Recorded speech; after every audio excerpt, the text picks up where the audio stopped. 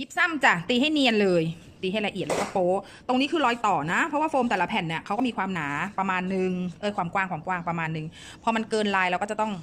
นะมาเพิ่มต่อได้เลยรอยต่อเราต้องเก็บให้เนียนอะพี่โปสอืมรบกวนโป๊วให้ดูหน่อยนะคะโอเคตรงนี้เห็นปะเวลาที่วาง pattern มันก็จะวางเป็นแนวเดียวกันโป๊วลงไปในร่องอย่างนี้นะคะ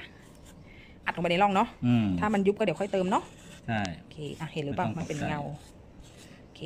ไม่มากไม่น้อย ถ้ามากไปเดี๋ยวเราต้องมาขัดเยอะเสียเวลาเปล่าๆ ถ้าน้อยเกินไปก็เดี๋ยวยุบลงไปอีก ต้องมาโปรเพิ่ม ดูให้เหมาะสม อีกสักนิดนึงอ่านั้นโปรลงไปข้างล่างเลยโอเคนิดนึงค่ะโอเคโอเค ไม่มีสูตรนะที่รักใช้ความรู้สึก ว่ามันน่าจะยึดเกาะได้ประมาณไหนเพราะว่าโฟมมันสักๆนิดๆอยู่แล้วค่ะมันมันเกาะอยู่ค่ะ